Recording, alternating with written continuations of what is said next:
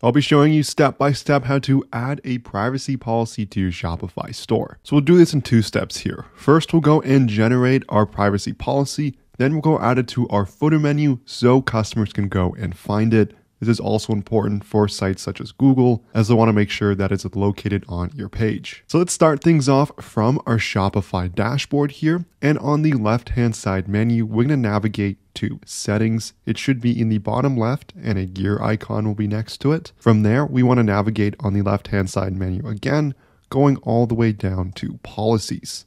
So this is going to open up the policy section for our store. We have a return policy here, but we want to pay attention to the section below it called privacy policy. Now Shopify has made this super easy.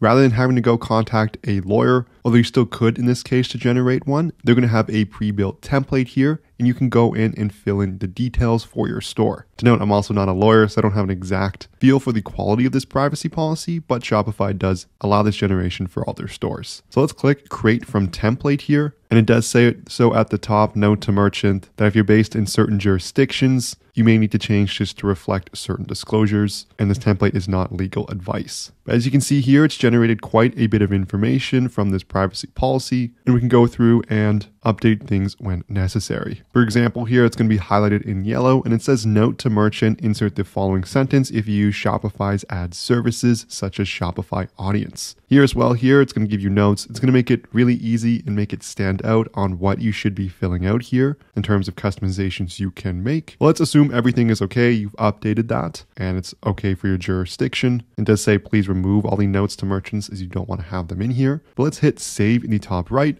and that's going to save in your privacy policy. From there, I'm going to exit out of this window. I want to go and add this to the footer menu of my Shopify store so customers browsing the website can actually find it. On the left-hand side menu, I'm going to click on Online Store. From there, I'm going to go down to Navigation, and we can see our existing menus. So we have two footer menus here. Let's just use the footer menu number one. So I'm going to remove these existing about us and privacy policy and let's go and add this in from scratch. I'm going to click on add menu item. I'm going to name this privacy policy. I'm going to search for the link here. If you click in here, it will open up some items you can select. If I click on policies, then the privacy policy that I just created. Next, I'll click add in the bottom right and I'll hit save at the top here to finalize this menu. Now let's go and actually preview if it's loaded. Under online store, I'm going to select that on the left hand side. This is going to open up my Shopify theme editor. If I go to customize here in the center of the page, on the left hand side menu here, if I open up footer, you can see there's nothing in the bottom here. So if I click add block, I can then go and add a menu. That's added a menu here and we can see the footer menu is selected.